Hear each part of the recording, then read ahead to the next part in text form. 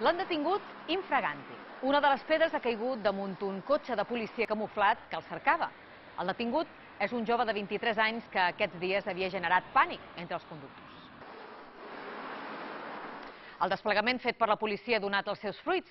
Els agents han detingut la persona que presumptament tirava les pedres des dels ponts de l'autopista.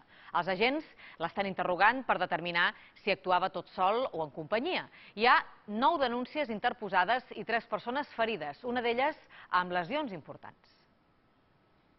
Yo no le quiero ningún mal a esta persona, pero mira lo que me ha hecho pasar a mí, sin, sin ninguna necesidad. Maria Antònia Salazar té el nas romput, un os de la cara i talls per tot el rostre produïts pels vidres. Els cirurgians l'han hagut d'operar i de reconstruir una part de la zona que en revolta l'ull que ha estat a punt de perdre. L'esparietal superior estava a l'òrbita, on tenim l'ull, romput en cinc trossos. Na Maria Antònia viatjava amb el seu home i amb la seva sogra per la carretera d'Inca quan varen rebre l'impacte de la pedra en el vidre davanter. Tots varen pensar que era una bomba. Me va pensar que era un atemptat, perquè va ser un renou tan gros el vidre i me va pensar, i va, ai, que mos ha vist meu fill, no, no, és una pedrota que mos han tirada.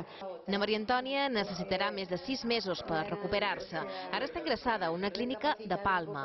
El seu cas no és l'únic. Una altra dona i també un dels policies que ahir formava part del dispositiu de recerca han resultat ferits.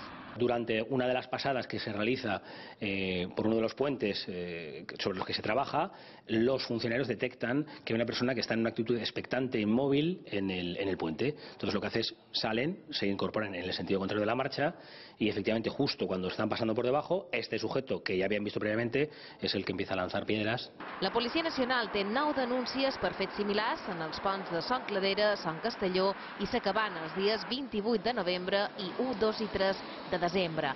Està acusat d'un delicte de lesions i un altre de danys materials.